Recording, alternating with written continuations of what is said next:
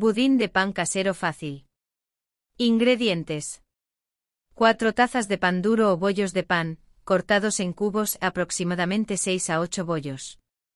2 tazas de leche. Media taza de azúcar. 2 huevos grandes. 2 cucharadas de mantequilla derretida. Una cucharadita de extracto de vainilla. Media taza de pasas, opcional. Un cuarto de cucharadita de canela, opcional. Un cuarto de cucharadita de nuez moscada, opcional. Una pizca de sal. Instrucciones. Precalienta tu horno a 175 grados tricentésimo quincuagésimo F. En un recipiente grande coloque los cubos de pan y vierta la leche sobre ellos. Deja que el pan se empape en la leche durante unos 10 a 15 minutos hasta que esté suave.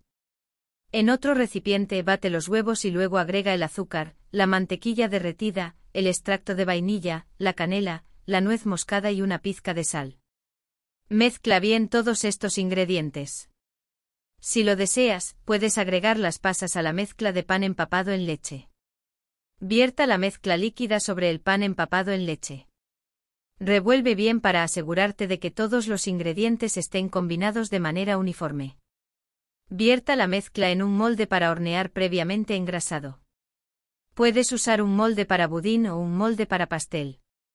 Hornea en el horno precalentado durante aproximadamente 45 a 55 minutos o hasta que el budín esté dorado en la parte superior y esté firme al tacto. Una vez que esté listo, retire el budín de pan del horno y déjelo enfriar un poco antes de servir. Puedes servir el budín de sartén caliente o a temperatura ambiente.